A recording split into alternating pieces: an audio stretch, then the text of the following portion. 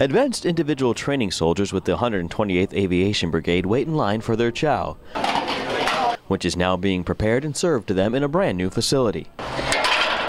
The old facilities were uh, built in the 1950s, 1960s, and uh, company-sized dining facilities, and we were actually feeding brigades in those company-sized dining facilities. The new 62,390 square foot two-story dining facility, built by the Norfolk District U.S. Army Corps of Engineers, can serve 2,600 soldiers in a 90-minute period.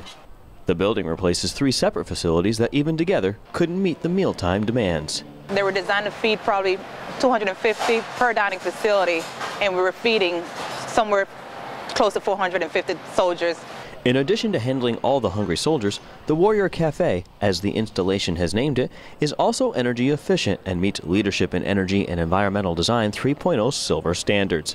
As part of its green features, the building includes energy efficient windows, lighting, and solar panels. The solar will provide the primary source of, uh, of hot water but you also have four boilers that's on the, that's also energy efficient and it will serve as a secondary. For the staff in charge of feeding the troops, the new $19.2 million facility meets their needs and exceeds their expectations.